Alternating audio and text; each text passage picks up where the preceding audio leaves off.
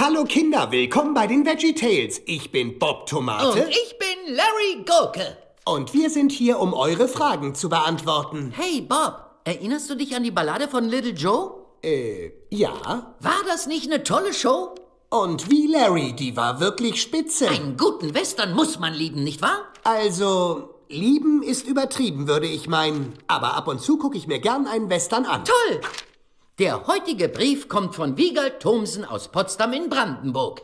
Wiegald schreibt, Lieber Bob, lieber Larry, bringt ihr eine Fortsetzung von Die Ballade von Little Joe? Euer Freund Wiegald. Äh, Larry, das ist ja ganz nett, aber wir beantworten nur Briefe von Kindern, die ein Problem oder moralische Sorgen haben. Somalische was? Lass das, du weißt doch, uns schreiben Kinder, die nicht wissen, was richtig oder falsch ist, die Hilfe brauchen, um die richtige Entscheidung zu treffen. Na bitte!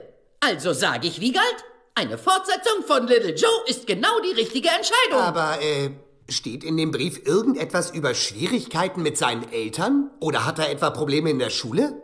Nein, aber jetzt, wo du es sagst, ich erhielt diesen Brief von Herrn Samuel Thorberg aus Hamburg in Hamburg. Hi, Bob und Larry. Ein Sonderangebot für Prominente. Ab sofort gibt es für euch einen Spezialkredit mit fast 0% Zinsen. Wer sortiert deine Briefe? Keine Ahnung.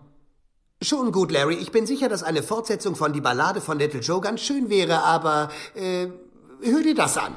Lieber Bob, lieber Larry, ich streite mich oft mit meinem Bruder. Ich habe diese Woche in der Kirche gelernt, ich soll liebevoll, fröhlich, friedlich, geduldig, nett, gut, sanft sein und mich beherrschen.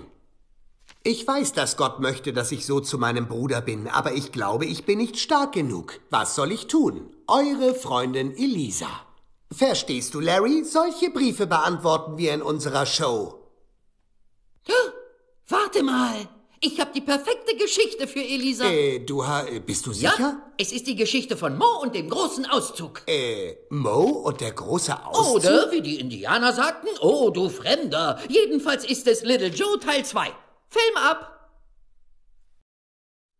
Wow, Larry, du hattest recht. Das war die perfekte Geschichte für Elisa. Siehst du, habe ich doch gesagt. Was für eine tolle Geschichte über die Stärke Gottes und wie gut es ist, seinen Worten zu glauben. Was sagst du? Du, du weißt schon, Gottes Stärke. Die Grundaussage der Geschichte? Oh. Ja, aber ich meinte die mit dem Bruderstreiten-Angelegenheit. Elisa hat ein Problem, weil sie sich mit ihrem Bruder streitet. Genau wie Mo. Nicht ganz, meistens streiten die Brüder mit ihm. Worauf willst du hinaus? Naja, Elisa braucht einen großen Stock. Was redest du da? Ja, dann lässt ihr Bruder sie bestimmt in Ruhe. Meinst du nicht auch? Nee, du verstehst überhaupt nicht, worum es hier geht. Jetzt besprechen wir, was wir heute gelernt haben. Und solltest du vom Thema heute betroffen sein, sieh mal in die Bibel rein ins Bibelbuch. Wenn ein Stock nichts hilft, könnte ein Völkerball helfen. Nein. Ich weiß, dass Gottes Wort dazu was sagen kann und nach dem Song weiß ich dann, wo ich nachsuch.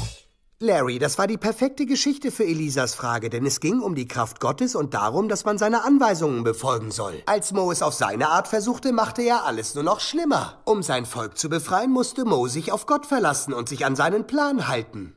Oh. Ja, das wurde auch angesprochen.